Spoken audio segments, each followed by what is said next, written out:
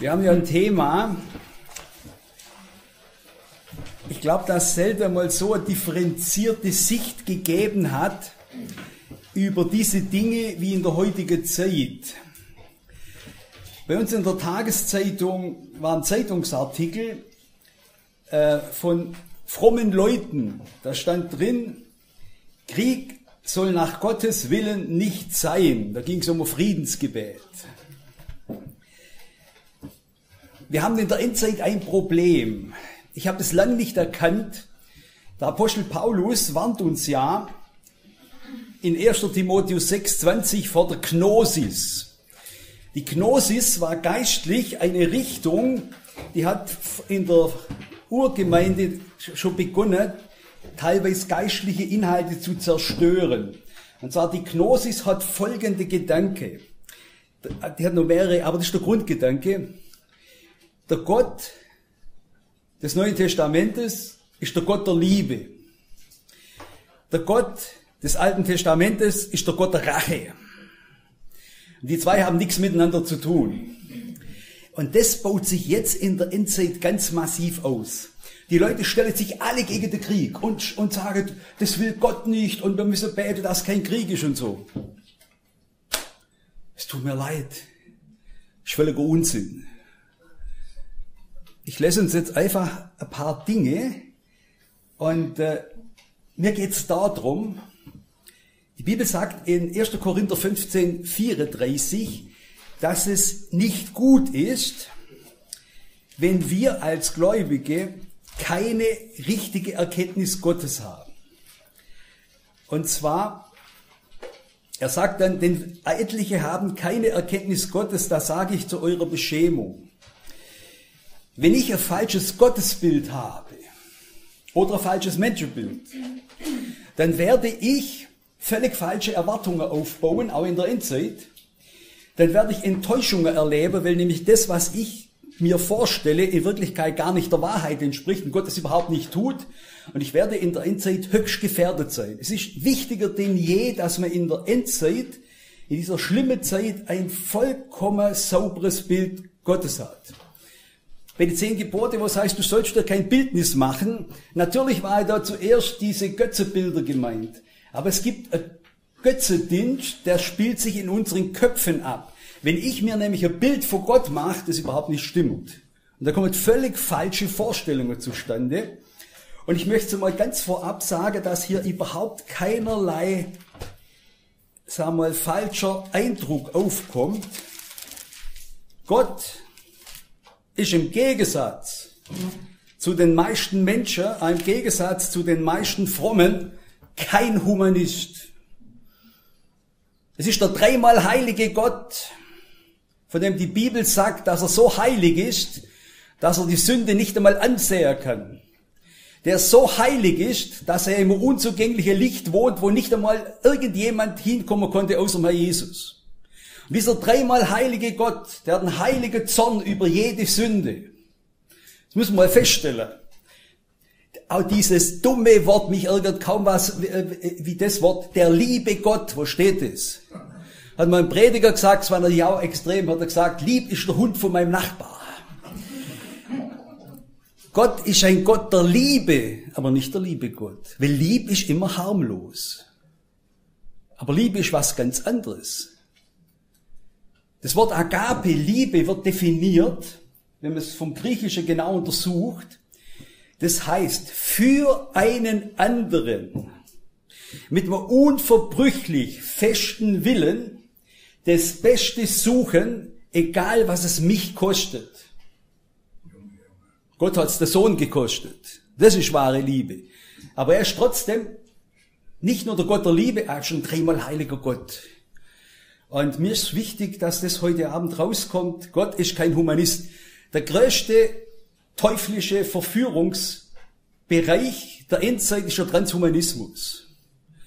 Und inzwischen wird der Mensch zum Götze hochstilisiert. Es dreht sich alles nur um den Menschen. Man kann sich überhaupt nicht vorstellen, dass Gott es genau 180 Grad gegenteilig sieht. Und Das ist einfach das menschliche Denken. Selbst der Herr Jesus musste in, weil er im Fleisch war, weil er in Menschengestalt war, musste im Garten Gethsemane kämpfen und sagen, Herr, nicht mein Wille, sondern dein Wille geschehe. Das ist ein ungeheures Kampfgebiet äh, für die Gläubigen, dass sie im Endeffekt die richtige Sicht Gottes haben. Petrus wollte nicht, dass der Herr Jesus stirbt, in Matthäus 16.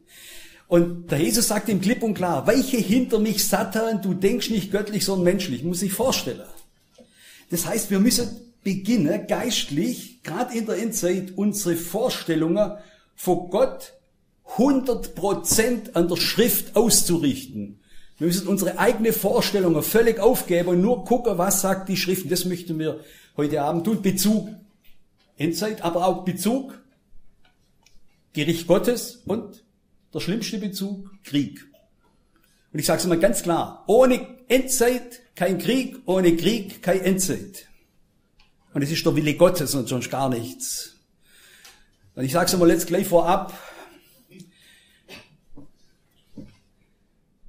Alle Menschen sind böse. Alle Systeme sind, sagt der Teufel bei der Versuchung Jesu, praktisch von ihm manipuliert. Er hat über die alle Macht. Aber Gott benutzt die bösen Systeme, die bösen Menschen, um sein Gericht auszuführen, sie Nebukadnezar. Ich sage es mal ganz ungeschützt, was ist, wenn Putin wieder Nebukadnezar vor Gott als Gericht benutzt wird, um uns gottlose westliche Welt endlich zu züchtigen? Das muss man muss mal anders denken. Aber mir geht es jetzt eher um die reine biblische Inhalte. Nach, nehm, äh, die ganze, ganze alttestamentliche Prophetie und alle diese Bücher geben klare Aussagen. Ich sage, ich lese mal Nahum 1, 1 bis 3 oder 2 und 3. Ein eifersüchtiger und rächender Gott ist der Herr. Ein Rächer ist der Herr voller Zorn.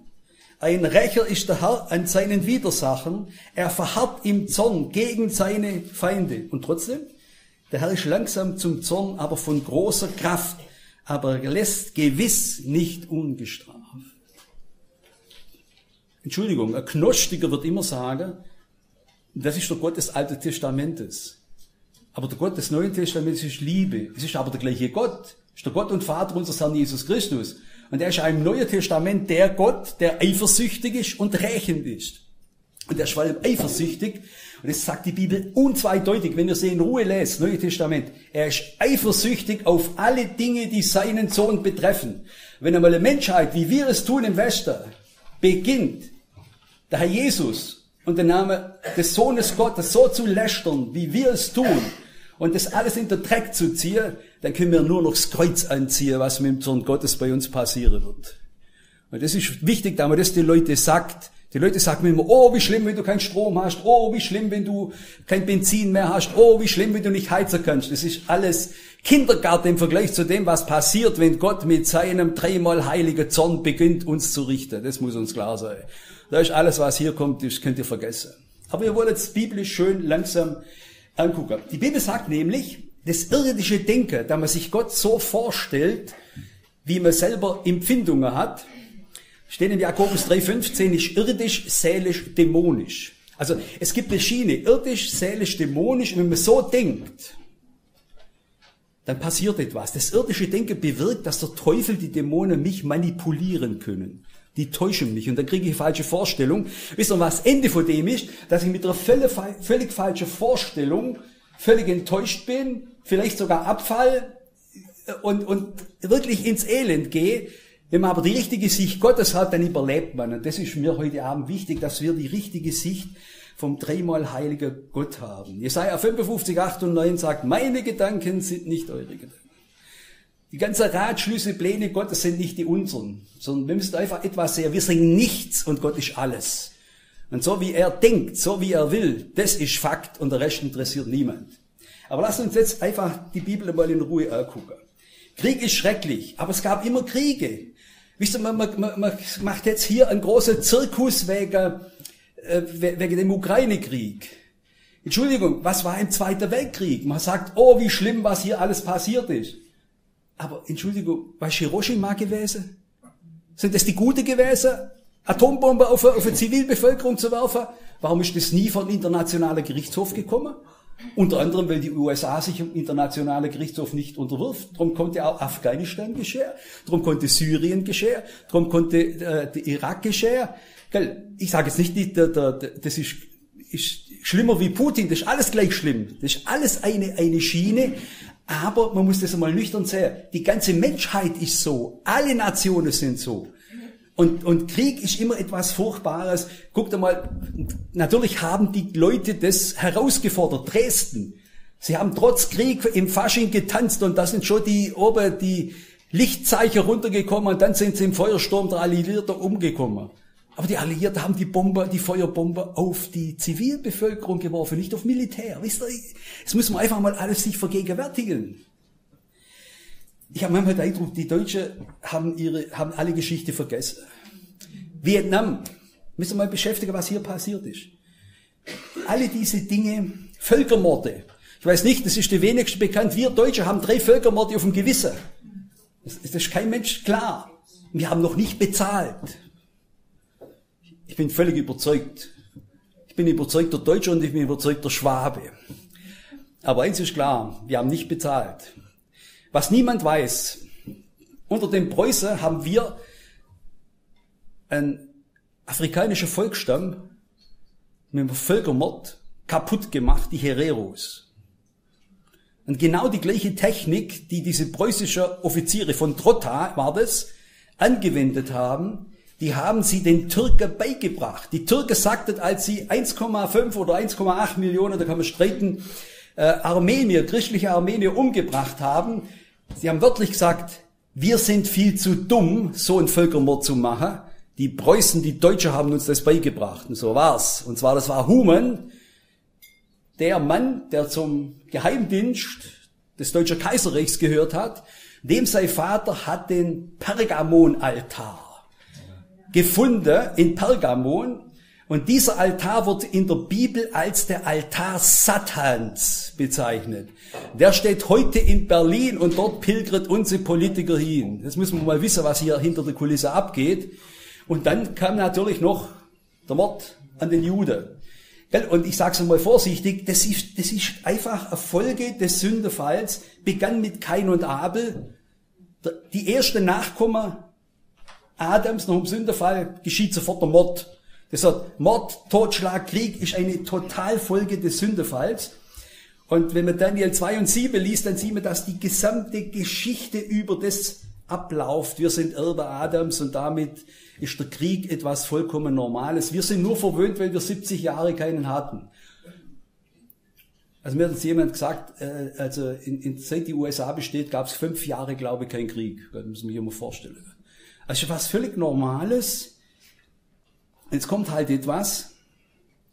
Wir haben zur Zeit, mir war das sofort klar, als das Corona kam, wir haben zur Zeit der Heimsuchung Gottes.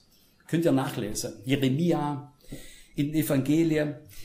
Eine Heimsuchung Gottes ist eine Situation, wo Gott den Menschen etwas Besonderes gibt, mit der Zielsetzung, das ist eine ganz große Gnade Heimsuchung, dass sie Buße tun können und zu Gott zurückkehren können, aber gleichzeitig ist es so radikal, dass es wirklich an ihre Existenz geht. Das haben wir zurzeit. Wir haben eine Heimsuchung.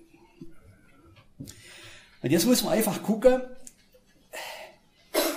was heißt das jetzt praktisch für uns? Und das müssen wir gucken und sagen, wenn jetzt hier Kriege geschehen, äh, ist Gott tatsächlich der liebe Gott, der keine Kriege will? Oder ist ein Gott der Liebe, der dreimal heilig ist und der Kriege will?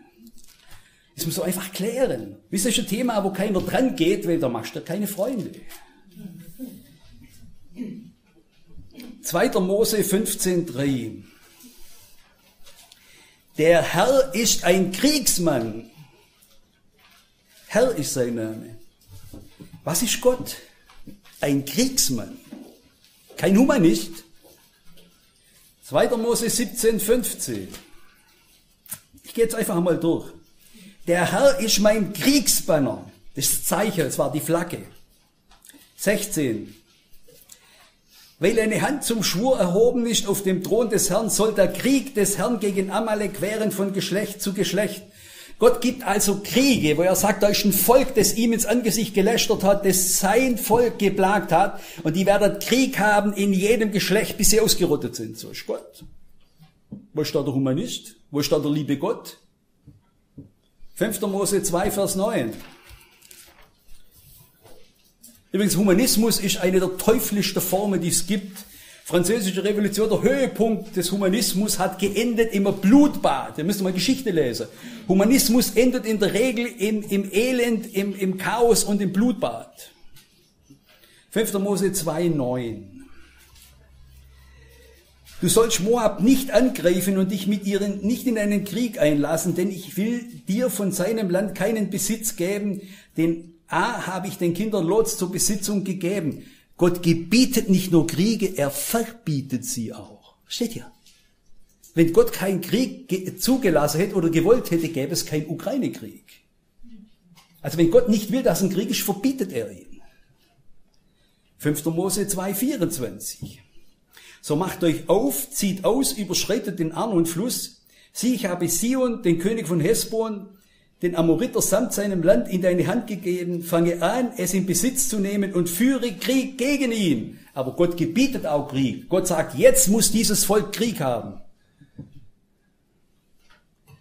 Was meint ihr, wenn Gott Sodom und Gomorra wegen ihrer perversen Sexualität und ihrer Abartigkeit mit Feuer und Schwefel im Erdboden gleich gemacht hat? Glaubt er, dass er uns dann durchlässt? Wir sind zehnmal schlimmer wie Sodom und Gomorra. Dort war diese, diese Sünde, und ich sage jetzt äh, einfach ein Blick zum Fenster raus, dann wisst ihr, was läuft. Gender, völliger Irrsinn, Homosexualität, alles, alles legitimiert, was Gott verboten hat, Hurerei, Ehebruch, Unzucht, alles legitimiert, alles wunderbar. Der Mensch muss sich ausleben dürfen, wie er will. Das ist alles ein Schlag ins Gesicht Gottes ist. Wir haben gesehen, wie viele Kinder abgetrieben wurden, wie viele Millionen, mehr als im Zweiten Weltkrieg Tote gab, sind abgetriebene Kinder. Jedes tote Kind, dessen Blut schreit zu Gott um Rache. Was meint ihr, wie lange Gott dem noch zuhört? Ich habe schon oft gesagt, mich wundert schon lang, dass Gott nicht schon lang zugeschlagen hat. Ist nur eine Frage der Zeit, dann schlägt Gott zu. Und wenn Gott einmal anfängt zuzuschlagen, da ist alles, was die Menschen machen, völlig harmlos. 5. Mose 21, 10. Wenn du gegen deine Feinde in den Krieg ziehst und der Herr dein Gott sie in deine Hand gibt, so sollst du von ihnen Gefangene heimführen. Das heißt, Gott ordnet den Krieg an, Gott sagt, ob es Tote gibt, Gott entscheidet, ob es Gefangene gibt. Das ist uns gar nicht klar. Wir hat uns Gott so ein Gott, der, der, der hier bedauernd zusieht, dass die Menschen sich bekriegen, ohne zu erkennen, dass Gott in Wirklichkeit sagt, er ordnet den Krieg an, er verhindert den Krieg, er sagt ganz klar, was, was geschehen soll. Richter 3.1. Richter ist ein ganz wichtiges Buch für alle diese Thematiken. Das ist schon dramatisch. Das sind aber die Völker, die der Herr übrig bleiben ließ, um durch sie alle diejenigen Israeliten zu prüfen, welche alle die Kämpfe um Kanaan nicht erlebt hatten, nur um den Geschlechtern der Söhne Israels davon Kenntnis zu geben und sie die Kriegsführung zu lehren. Gott lehrt sogar Völker, wie sie Krieg führen sollen. Hier sein Volk. Psalm 144, 1.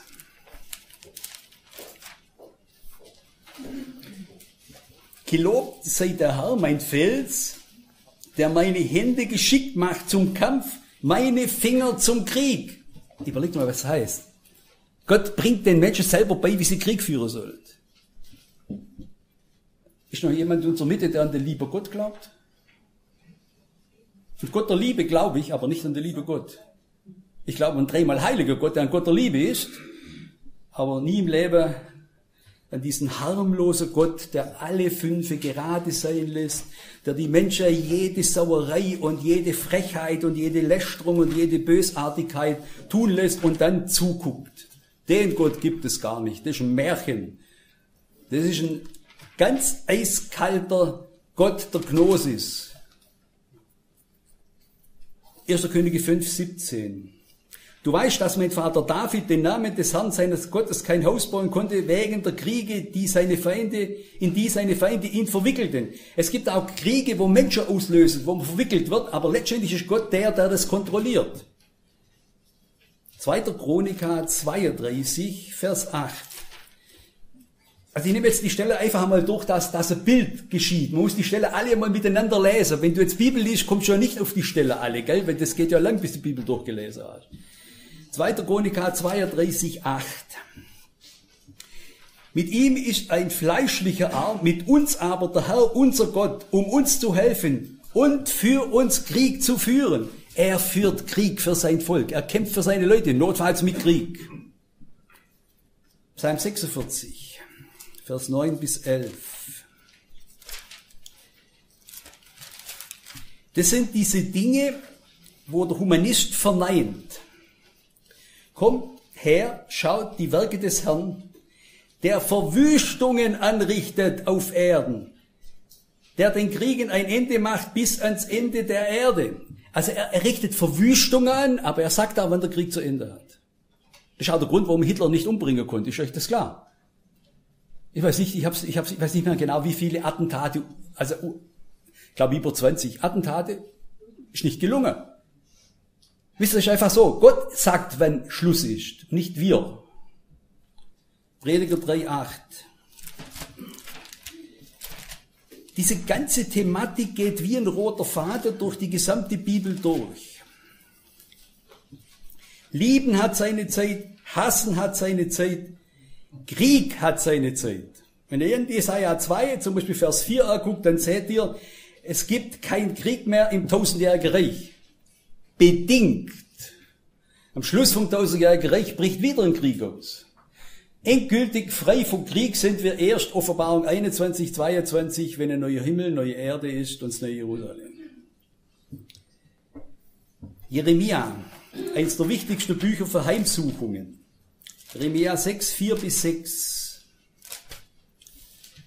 Heiligt einen Krieg gegen sie auf, lasst unser Mittag hinaufziehen. Weh uns, der Tag neigt sich und die Abendschatten, halt, Entschuldigung, jetzt bin ich verrutscht. Und die Abendschatten werden länger. Und lasst uns bei Nacht hinaufziehen und ihre Paläste zerstören. Denn so hat der Herr der Heerscharen befohlen. Fällt Bäume, schüttet einen Wall auf gegen Jerusalem. Also er bietet den Feinden Israels, gebietet er, was sie tun sollen. Das ist die Stadt, die heimgesucht werden soll, denn lauter Gewalttat ist in ihrer Mitte. Es kann passieren, wenn ein Volk Gottes Angesicht lästert, dann befiehlt Gott einem anderen Volk, greif es an. Um der Sünde willen. Jeremia 28, 8. Die Propheten, die vor mir und vor dir von jeher gewesen sind, die haben über viele Länder und große Königreiche von Krieg, Unheil und Pest geweissagt. Matthäus 24, 8 die Wehen. Da stecken wir mit drin. Wir sind in den Wehen. Da gehört Krieg dazu, da gehört Pest dazu, Seuche und da gehört Erdbeben dazu, da gehört das alles dazu. Am Ende natürlich leider auch Verfolgung. Jeremia 49, 14. Hier haben wir dann etwas. Versammelt euch und zieht gegen sie und steht auf zum Krieg. Joel 4.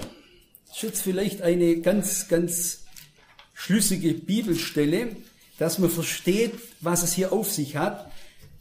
Man müsste lesen von Vers 1 bis 9, ich lese nur den neunten Vers. Ruft die aus unter den Heidenvölkern, rüstet euch zum heiligen Krieg. Weckt die Helden auf, alle Krieger sollen einrücken und hinaufziehen, schmiedet eure Pflugscharen zu Schwertern und eure Rebmesser zu Spießen. Heiliger Krieg? Gibt es einen heiliger Krieg? Ja. Heilig heißt immer in der Bibel nur Gott gehörend. Wenn Gott etwas für sich in Besitz genommen hat, hat er es mit Blut besprengen lassen und dann mit Öl letztendlich auch besprengen lassen und dann war es geheiligt. Und Gott hat Kriege für sich geheiligt. Obadja 1.1. Das ist die Offenbarung an Obadja. So spricht Gott der Herr über Edom. Wir haben eine Botschaft gehört vom Herrn und ein Bote wurden damit an die Völker entsandt, auf, lasst uns aufbrechen zum Krieg gegen sie. Gott selber schickt die Botschaft, greift sie an. Wisst ihr, es ist einfach so, ich, ich ziehe mal eine Stelle vor, dass, dass es das noch dramatischer wird. Die wäre erst später gekommen, aber ich ziehe sie einfach einmal vor. 1. Chronika 5, 22 dass endlich dieser humanistische Unsinn in unseren Köpfen der Gläubiger rauskommt. Da steht nämlich 1. Chronika 5,22 und zwar, denn es fielen viele Erschlagene, also viele Tote, denn der Kampf war von Gott. Wisst ihr, was das heißt? Wenn der Krieg vor Gott ist, gibt es viele Tote. Wisst ihr, und, und wir, wir unterstellen immer Gott, oh, der ist so traurig, dass es Krieg gibt und der will nur, dass alles lieb ist. Das ist reine Gnosis. Das ist die Verleugnung des Gottes des Alten Testamentes. Ananias und Sapphira, die haben gelogen. Sie fallen tot um als Strafe. Hat mein Bruder gepredigt, wenn Gott es heute noch bei uns machen würde in der Versammlung, jeder, der lügt, würde tot umfallen, hätte man nicht mehr viele Besucher in der Versammlung. Steht ihr? Aber im Neuen Testament ist Gott der dreimal heilige Gott. Er lässt einen König, der sich eine Stelle Gottes gesetzt hat, lebendig von Würmern zerfressen. So ist der dreimal heilige Gott. Der letzte Krieg, Sacharja 14, ich lese uns das, wird einer der schrecklichsten sein. Das ist der Krieg kurz vor der Wiederkunft Jesu. Da wird es dann auf dieser Erde zugehen, das kann man sich gar nicht vorstellen. Ich lese Sacharja 14 ab 12. Das aber wird die Plage sein, mit welcher der Herr alle Völker schlagen wird, die gegen Jerusalem Krieg geführt haben. Ihr Fleisch wird verfaulen, während sie noch auf ihren Füßen stehen. Ihre Augen werden verfaulen in ihren Hören und ihre Zunge wird verfaulen in ihrem Mund. Chemie, Atomwaffe. Auch das setzt Gott ein gegen die Feinde Israels. Man kann sich das nicht vorstellen, gell? Und äh, es ist natürlich so, das hat immer einen Hintergrund. Gott tut das ja nicht willkürlich. 5. Mose 2, 24.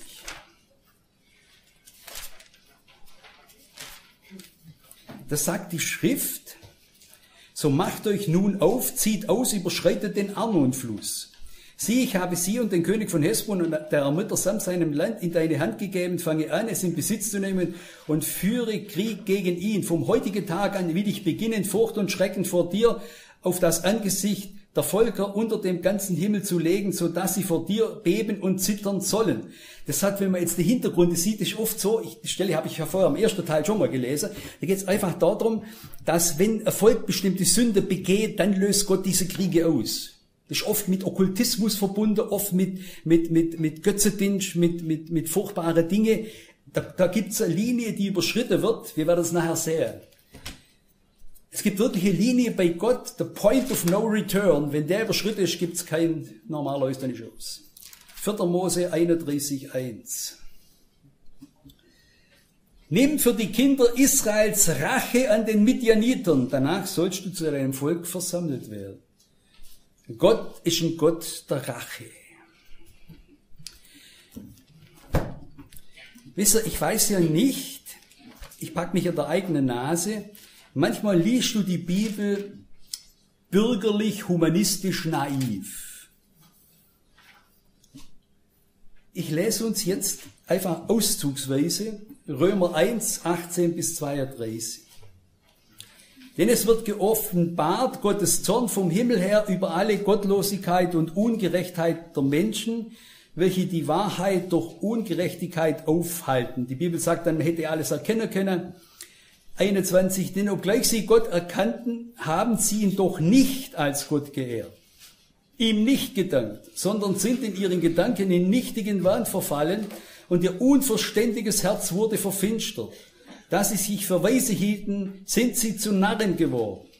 Da geht er da weiter und sagt 24, darum hat Gott sie dahin gegeben, also einfach laufen lassen, in die Begierden ihres Herzens zur Unreinigkeit, so dass sie ihre eigenen Leiber untereinander in Ehren.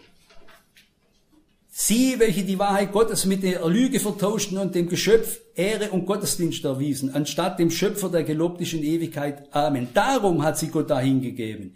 In entehrende Leidenschaften. Die, die Frauen haben den natürlichen Verkehr mit dem Niedernatürlichen vertauscht. Gleicherweise haben auch die Männer den natürlichen Verkehr mit der Frau verlassen und sie gegeneinander entbrannt in ihrer Begierde und haben Mann mit Mann Schande getrieben und den verdienten Lohn ihrer Verirrung an sich selbst empfangen. Und gleich wie Gott sie nicht der Anerkennung würdigten, hat Gott auch sie dahin gegeben. In unwürdige Gesinnung. Und jetzt zählt er auf. Voll. Ungerechtigkeit, Unzucht, da steht Pornografie, Pornoia, Schlechtigkeit, Habsucht, Bosheit, Neid, Mord, Streit, Betrug, Tücke, Gerüchte verbreiten, verleumder, Gottesverächter, Freche, übermütige Prahler, erfinderisch Bösen, den Eltern ungehorsam, unverständig, treulos, lieblos, unversöhnlich, unbarmherzig. Jetzt kommt das, auf was ich raus will. Wisst ihr, wir lesen da drüber, ohne uns bewusst zu sein, was das heißt. Obwohl sie das gerechte Urteil Gottes erkennen, dass die des Todes würdig sind, welche so etwas verüben, tun sie dieses nicht nur selbst, sondern haben auch Gefallen an denen, die es verüben. Entschuldigung. Diese Sünder sind von Gott her mit dem Tod belegt. Wie kann es sein, dass Sünde, die früher letztendlich auf dem sexuellen Gebiet, die früher in allen kultivierten Völkern verboten waren, plötzlich auf dem ganzen Erdball mit einem Schlag legitimiert werden. Das ist der antichristliche Geist. Und sobald die ganze Erde von dem heimgesucht wird, beginnt Gott diese Sünde mit der Strafe des Todes, und da benutzt er der Krieg dazu, aber auch andere Dinge benutzt er diese Dinge, um diese Völker zu richten und sie, die Einzelnen, zu töten. Das muss uns klar sein. Wenn er 1. Mose 4,10 zählt, Abel, Kain und Abel, er sagt klipp und klar, das Blut schreit zum Himmel. Jedes abgetriebene Kind schreit zum Himmel. Was denkt er, was da für ein Geschrei ist in, in der Transzendenz? Und wenn tatsächlich alle diese Sünde der Tod nach sich zieht, dann sind wir alle Todeskandidaten. Es sei denn, wir sind wieder geboren und gewaschen durch Jesu Blut. Dann sind wir natürlich keine Todeskandidaten, weil er ist die Sünde ausgelöscht. Aber jeder, der das nicht hat, ist ein Todeskandidat. Wisst ihr, wir müssen den Leuten in der Endzeit sagen, ihr seid alle Kandidaten des Todes. Matthäus 24, 6. Endzeit, Hauptpunkt, Kriege. Ja alles. Aber Kriege ist ein Hauptpunkt der Endzeit. Wo ist jetzt der Gott der Liebe? Ist ganz einfach. Wenn ein Gott so heilig ist, dass er Sünde nicht dulden kann, sie nicht einmal ansehen kann, dass er die Menschen töten muss. Er muss sie töten um seiner Heiligkeit willen. Absolut. Wenn Gott so heilig ist, aber gleichzeitig die Menschen liebt und sie nicht töten will und sie nicht in die Hölle werfen will und sie nicht verdammen will, dann muss er einen Weg suchen, einen Ausweg, der göttlich perfekt ist. Und den hat er getan. Es gab nur eine Möglichkeit. Er musste seinen eingeborenen Sohn, und eingeboren ist ein äh, altdeutsches Wort, das heißt ganz einfach den einzig gezeugten Sohn. Der einzige, der aus dem Vater herausgeboren ist und darum der einzige, der wieder Vater Gottheit hat, ist der Herr Jesus. Er hat den Sohn, der vor den Ewigkeiten, also bevor es überhaupt Zeit gab, beim Vater im Himmel, dem unzugängliche Licht gewohnt hat, hat er genommen und ließ ihn Mensch werden durch Jungfrauengeburt, durch eine übernatürliche Zeugung durch den Heilige Geist. Damit hat er auch keine Erbsünde. Also er hat jetzt einen Mensch, der keine Erbsünde hatte. Und der Jesus war der einzige Mensch, der über den Erdboden gegangen ist, der hat keine Sünde. Und dann ist was passiert. Furchtbar. Wisst ihr, ich kann mir nicht vorstellen, was der Jesus, der beim Vater, der so dreimal heilig ist, und der Jesus war genauso heilig in, in der Lichtswelt, dass der im, in der körperlichen Gestalt, was der erlitten hat, als er den Dreck der Sünde, und das war im Römischen Reich keine Kleinigkeit, gesehen hat. Und dann muss er, und das ist die Liebe Gottes, dann weiß Gott, er kann diese Menschheit nur erlösen, er kann seine Liebe nur zum Ausdruck bringen, wenn er das Höchste tut, was Liebe tun kann. Wenn er sein geliebter Sohn ans Kreuz vor Golgatha schlagen lässt. Warum Kreuz? Dritter Mose, äh, Entschuldigung, Galater 3, das Kreuz ist ein Zeichen des Fluches. Und der Verfluchte muss das Kreuz. Wenn Gott der Fluch der Sünde den Fluch auslöschen wollte, und ein Zeichen des Fluches der Sünde sind die Donner, darum hat er Donnerkrone, und wenn Gott ihn richten wollte, dann musste er gekreuzigt werden. Er durfte nicht ge ge gehängt werden, er durfte nicht geköpft werden, er musste am Kreuz der Fluch tragen.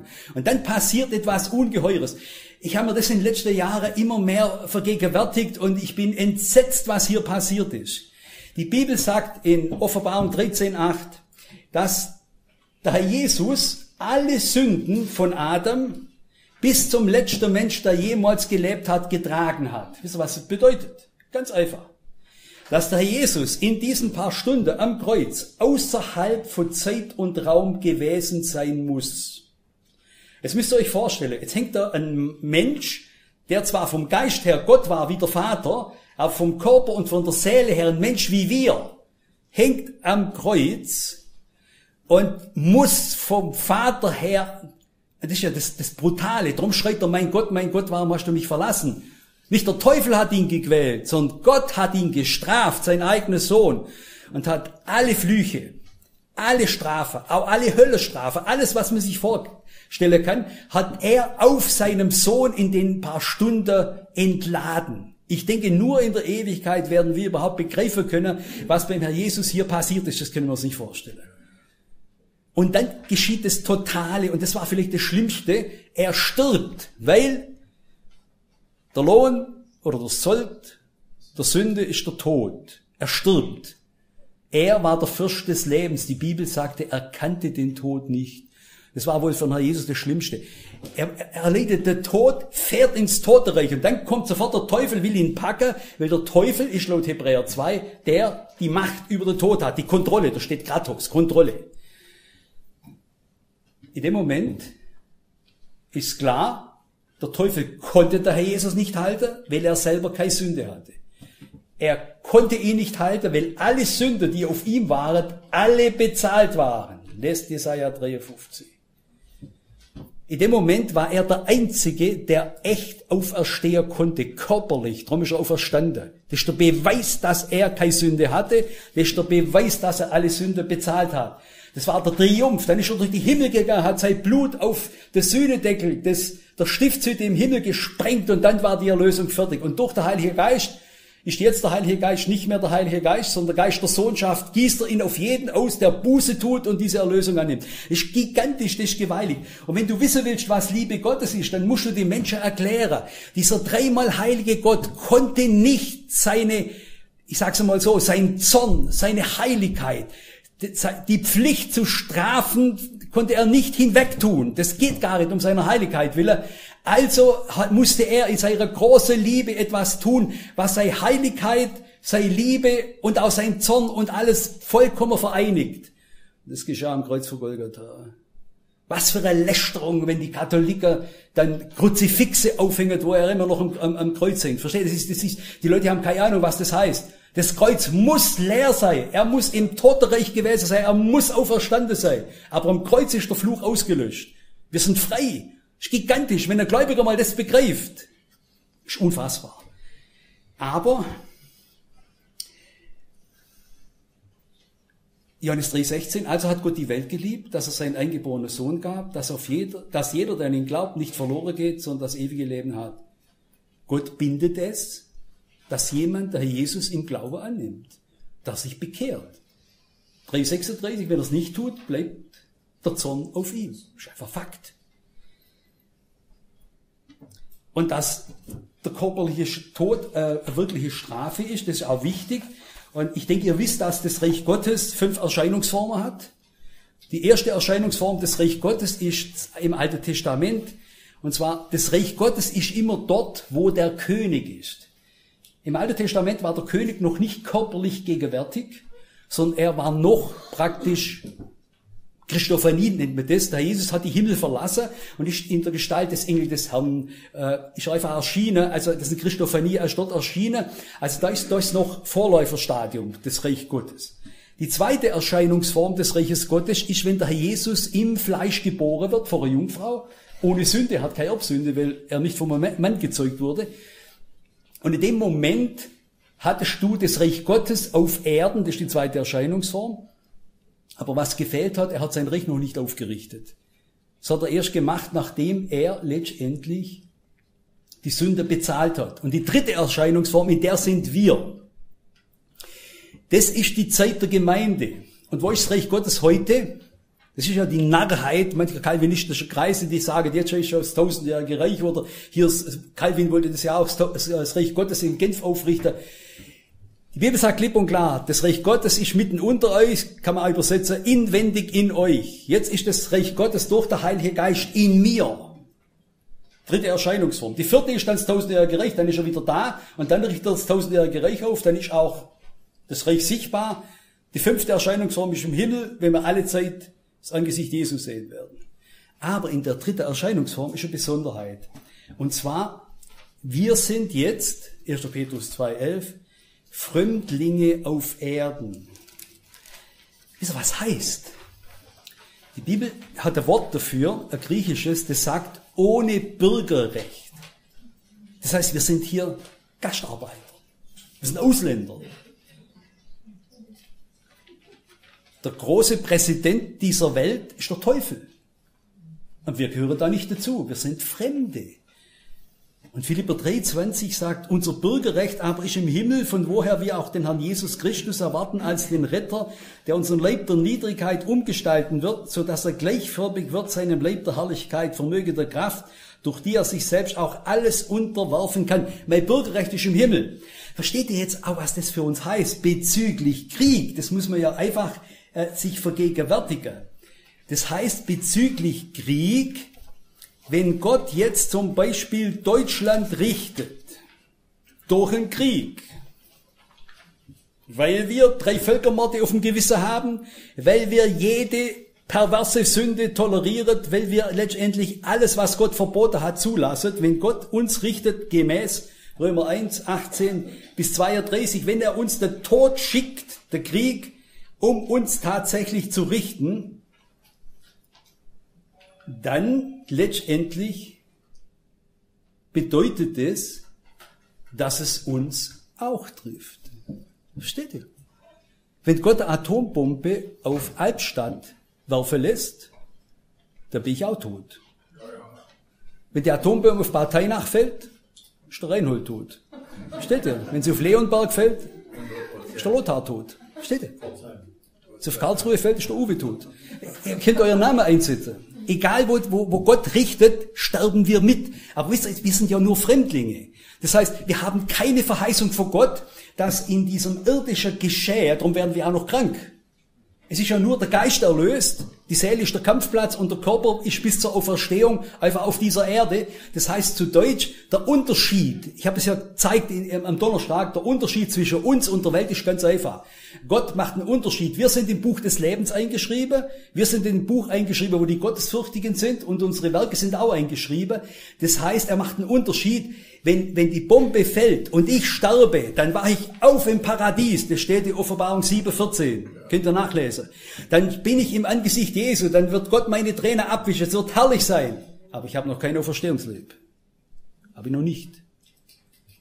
Wenn ein Gottloser stirbt, dann passiert das gleiche wie Lukas 16. Er fährt in die Vorhölle und wird gequält werden, bereits dort. Das ist der große Unterschied. Ich muss die Leute sagen, wisst ihr, wenn die Bombe fällt, bin ich auch tot. Aber es gibt einen Unterschied zwischen mir und dir, muss ich im Gottlosen sagen. Ich wache in der Gegenwart Jesu auf, in der Herrlichkeit, wunderbar. Und du wachst in der Hölle auf, und zwar in der Vorhölle, wirst gequält werden, dann wirst du auferstehen, ich werde auferstehen und dann der Auferstehungsleib bekommen, wenn Herr Jesus alle Zeit sei in einer wunderbaren Herrlichkeit, du wirst auferstehen zum großen weißen Thron auf Bahn 20 und wirst in die Hölle fahren, in der Feuersee. Wisst ihr? Und das ist Fakt. Und jetzt können wir doch nicht so tun, dass wir sagen, oh, wie, wie kann Gott so schlimm sein, Krieg zu geben?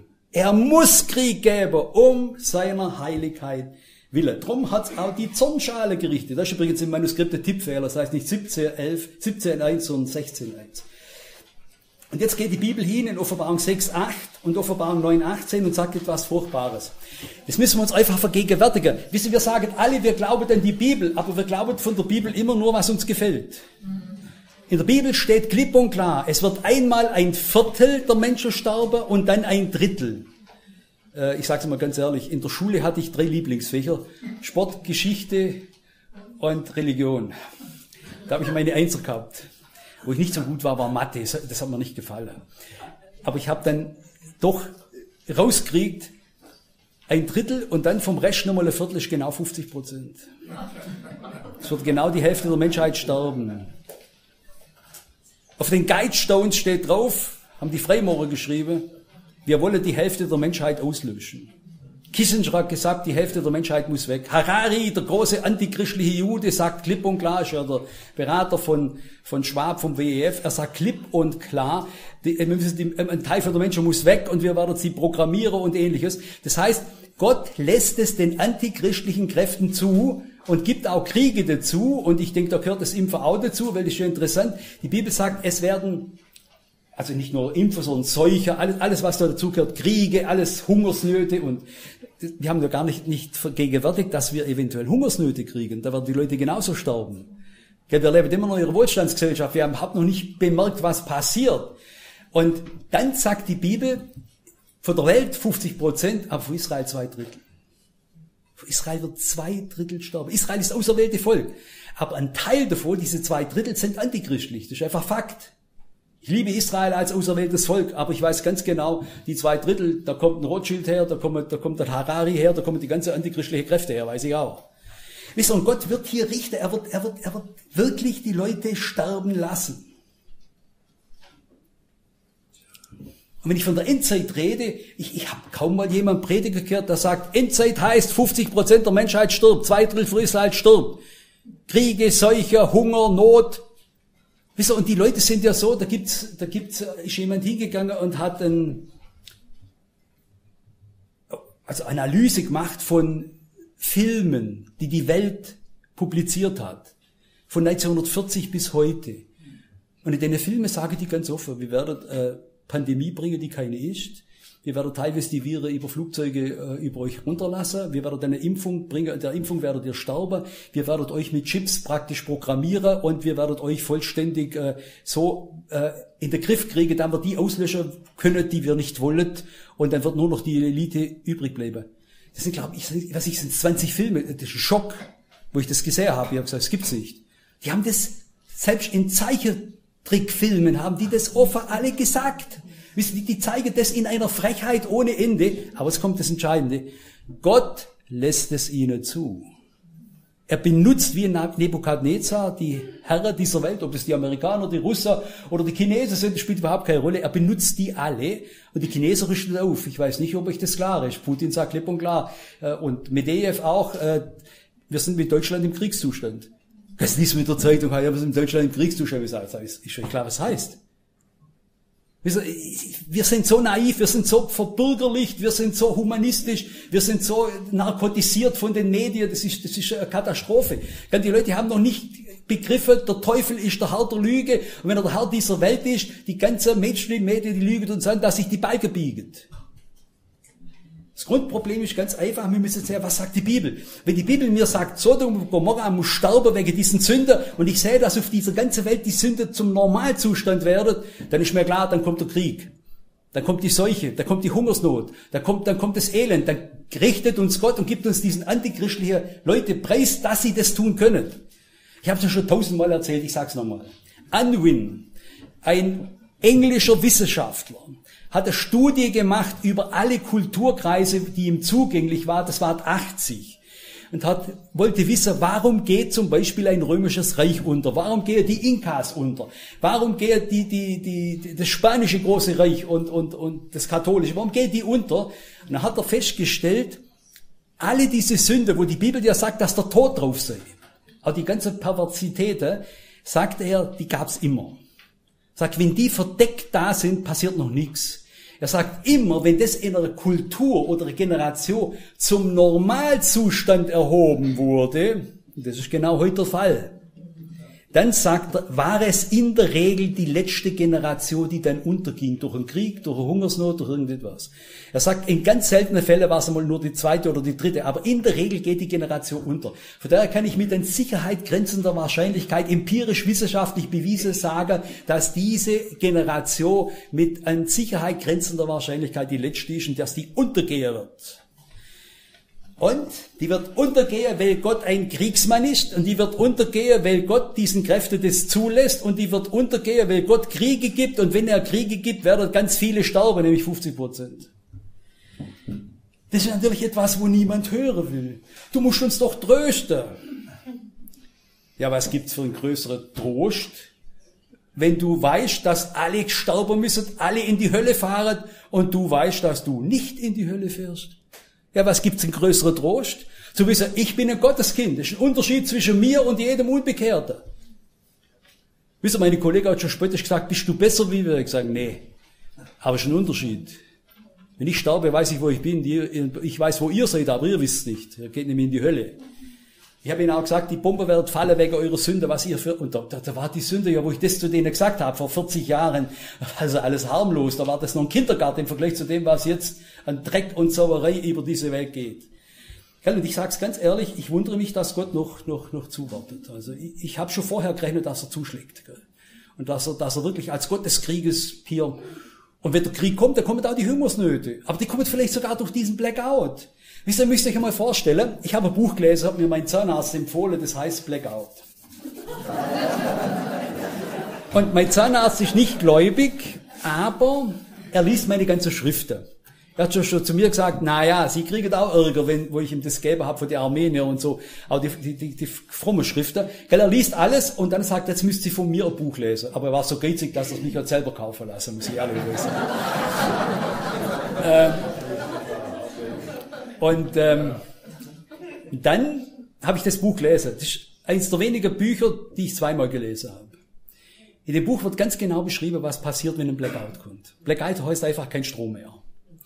Und die haben erklärt, dass zum Beispiel die Stromzähler digitalisiert sind. Digitalisierung ist Offenbarung 13, das ist die totale Falle, um uns alle äh, mit, mit, mit, mit, ich sag's mal so, mit völliger Kontrolle unter die Fuchtel zu bringen. Die haben erklärt, die digitale Stromzähler, da musst du nur ein Virus reinspielen, dann ist in ganz Europa der Strom weg. Ich habe immer geglaubt, Deutschland hat Strom für sich. Überhaupt nicht. Alle europäischen Länder, das ist ein großer Pool, tauschen die, die Strommasse gegenseitig aus. Und die beschreiben dann in dem Buch ganz genau, was passiert, wenn das geschieht. Und da wird Familie beschrieben, Polizei, Staatsämter, Kraftwerke, da wird alles genau beschrieben. Ich sage es jetzt einmal ungeschützt, das sagen auch die Spezialisten. Nach sieben bis zehn Tagen hast du hier Bürgerkrieg. Die Leute haben kein Wasser mehr, sie haben keine Toilette, die funktioniert, sie haben kein Geldautomat mehr, da kommt kein Geld mehr raus. Beim Supermarkt geht die Türe nicht mehr auf. Der Supermarkt wird nicht beliefert und ich, hab, ich war so dumm. Ich habe glaubt, der Supermarkt hat, hat ganz große Lager. Jetzt habe ich mich kundig gemacht, der hat genau für 1,5 Tage Vorräte. Ist ein Hammer. Dann werden die Leute hungern, die sind nicht vorbereitet. Und dann werden sie übereinander herfallen. Es wird im Buch schön beschrieben. Wisst ihr, und dann siehst du mal, was hier ist. Und wenn dann das alles auf dem Höhepunkt ist, Bürgerkrieg, Mord und Totschlag, vor Russland bis Amerika, überall auf der ganzen Welt ist alles verrückt. Dann wird ein Mann auftreten, wird sagen, ihr müsst nur mich wählen, ich werde euch in zwei Tagen alle diese Probleme lösen. Das ist der Antichrist. Ich denke, dass es alles auf das raussteuert. Aber ich kann nur denen helfen, die digitalisiert sind. Das ist der Grund, warum ich nie digitalisieren lasse. Wisst ihr, und die Teufelei, die, die, die ist ungeheuer, das kann man in Worte nicht fassen. Aber Jetzt ist halt die Frage, jetzt kommen wir wieder zur Praxis, was mache ich jetzt? Gehe ich jetzt heim und nag an die Fingernägel und überlege, wie schlimm das ist mit meinen Kindern. Wisst ihr, ist ganz einfach. Ich habe sieben Enkel. Zwei Erwachsene und fünf Kleine. Die zwei Erwachsene, die müsste ich selber bekehren, die wissen das auch. Die fünf Kleine, müsste ich, die können sich noch nicht bekehren, sind zu klein. Das ist ganz einfach. Wenn wir sterben, meine Frau und ich, dann sind wir in der Ewigkeit beim Herr Jesus. Mein Sohn ist bekehrt, meine Schwiegertochter ist bekehrt. Wenn sie sterben, das sind die Eltern von den fünf, wenn die sterben, sind sie beim Herr Jesus. Ihre Kinder sind nicht verdammt, Weil die Bibel klipp und klar sagt, dass die Kinder, die nicht entscheidungsfähig sind, auch nicht verdammt sind. Die sind auch nicht im Himmel, die sind nach meiner Überzeugung auf der neuen Erde, dann in, in diesem himmlischen Bereich, aber das ist Ansichtssache. Aber auf jeden Fall, die sind nicht verloren. Also muss ich doch sagen, was verliere ich letztendlich, wenn wir, statt das ganze Elend durchzumachen, blitzschnell sterben? Meine Frau sagt immer, mich soll sie gleich verschießen. Und ich sage, naja, so sehe ich es ja auch nicht.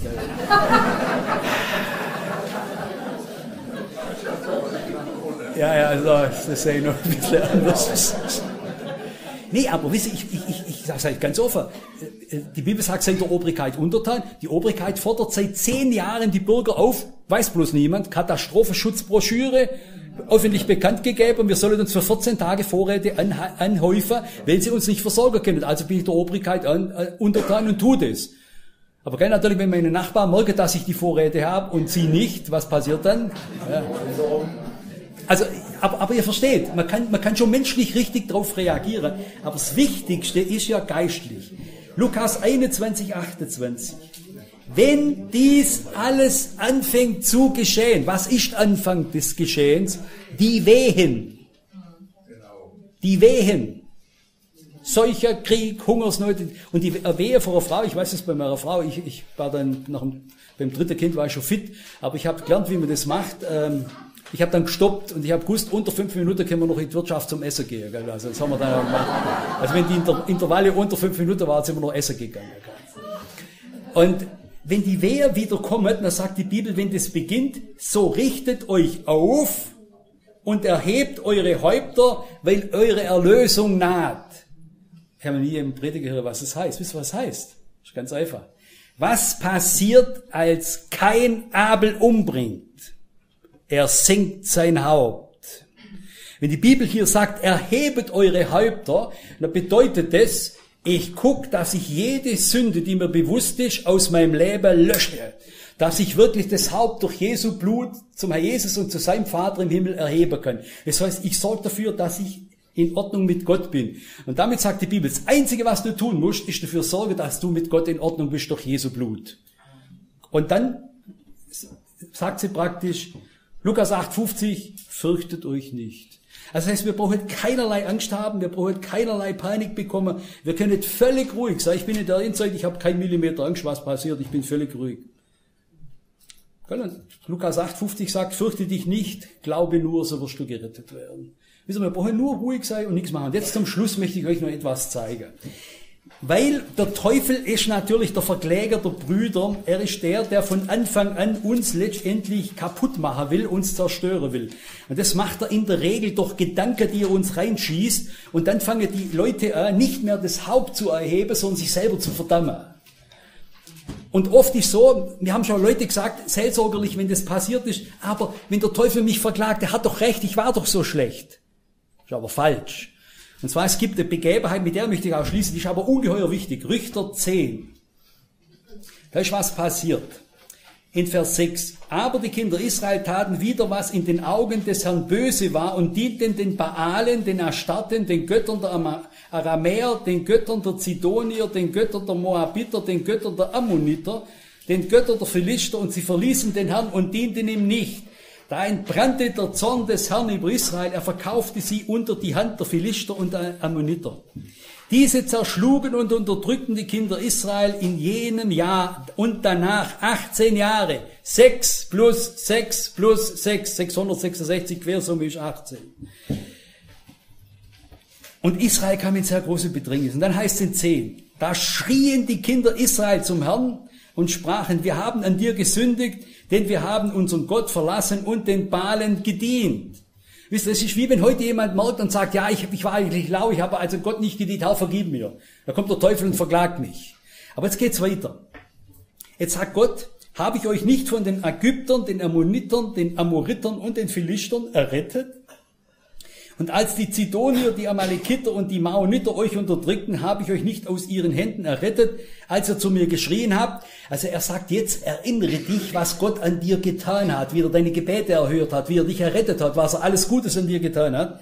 Und jetzt sagt er, dennoch seid ihr, habt ihr mich verlassen und anderen Göttern gedient. Darum will ich euch nicht mehr erretten. Muss das mal sehen. Man kann persönlich aber Grenze überschreiten, wo Gott sagt, ich werde dir nicht mehr helfen. Aber es geht weiter. Geht hin und schreit zu den Göttern, die ihr erwählt habt, die sollen euch retten in der Zeit eurer Not. Und jetzt kommt das, was wir uns aneignen müssen. Das schattenbildlich zwar von Israel, ist aber schattenbildlich aufs Neue Testament übertragen, genau das Gleiche, was wir tun müssen. Jetzt erklärt er, was ich tun muss, dass Gott mir hilft, mich rettet in dieser Endzeit und durchbringt, völlig egal, wo ich als Gläubiger aus der Lauheit oder aus der Sünde herkomme. Und zwar, sehr schon sie Buße getan, haben, haben mit der Sünde gebrochen. Und zwar erklärt es. Sie sprachen, wir haben gesündigt, und jetzt kommt das wichtige Satz, mache du mit uns, was dir gefällt. Das heißt, sie haben letztendlich sich Gott auf der Altar gelegt, haben gesagt, du bist der Herr, du kannst mit uns machen, was du willst. Steht dir zu. Nur errette uns noch dieses Mal. Es gibt im Hebräischen und im Griechischen für Errettung zwei Worte. Also das, das eine Wort, äh, das hier, was hier steht, heißt Nazal im Hebräischen, das meint praktisch aus der Not erretten. Und äh, die andere Worte, die heißen Rettung, um in den Himmel zu kommen. Aber hier ist jetzt gemeint der Not. Sie bittet also, sie sagt, wir haben gesündigt, aber du darfst mit uns machen, was du willst. Nur bittet einfach, hilf uns trotzdem. Und jetzt kommt der entscheidende Punkt. Da taten sie die fremden Götter von sich und dienten dem Herrn, ohne dass er geholfen hat. In ihrer Not haben die angefangen, wirklich Buße zu tun. Sie haben die Sünde im Herrn bekannt, haben gesagt, du bist der Herr, du kannst mit uns machen, was du willst, und haben die Götter weggetan, auf die Gefahr hin, dass er ihnen nicht hilft. Und dann heißt da wurde er unwillig über das Elend Israels und hat ihnen geholfen. Wisst ihr, was das heißt? Egal, wo ich oder du in dieser Endzeit, und wir sind ja gefährdeter wie die, die Generationen vorher von der ganzen Sünde und der Dreck, der über unser Haupt drüber geht. Wenn irgendjemand von uns in irgendeiner Sünde steckt oder einfach nicht rauskommt oder kämpft, wenn ihr so vorgeht wie hier Richter 10, müsst ihr euch merken, Richter 10, dann wird Gott uns retten. Dann können wir unsere Häupter erheben. Das heißt, wir brauchen keinerlei Angst haben. Ich habe keinerlei Angst. Ich habe keine Angst vom, vom, vom Tod, ich habe keine Angst vor, vor Blackout, ich habe keine Angst vor einem Krieg, wenn, wenn heute Russe einmarschiert. Ich habe ein russisches Wörterbuch daheim, wird mir wahrscheinlich auch nichts nützen. Aber ich habe keine Angst. Ich habe Vorräte, ich habe alles, aber ich habe keine Angst. Es kann auch sein, es nützt mir gar nichts. Ist völlig egal. Das Einzige, wo ich ganz penibel, eifersüchtig darauf bedacht sein muss, dass ich mit Gott in Ordnung bin. Versteht ihr? Und wenn das von der Endzeitkonferenz übrig bleibt, dass wenn wir hier gehen, dass etwas klar ist, wir überleben die Endzeit nur, wenn wir mit Gott in Ordnung sind und wir brauchen keinerlei Angst haben, dann haben wir gewonnen. Und das ist doch das, was jeder von uns will, oder? Mache mit uns, was du willst, sagt die Bibel. Wir haben gesündigt. Nur hilf uns nochmals, rette uns nochmal. Und dann taten sie die fremde Götter weg. Dann, dann bricht man mit der Sünde und fängt da Gott zu dienen. Und dann sagt die Bibel, dann wurde er unwillig über das Elend Israels, dann hilft er, dann greift er ein. Das heißt, wir haben ein perfektes Mittel, um durch die Endzeit durchzukommen. Wir müssen das nur tun. Ich möchte beten.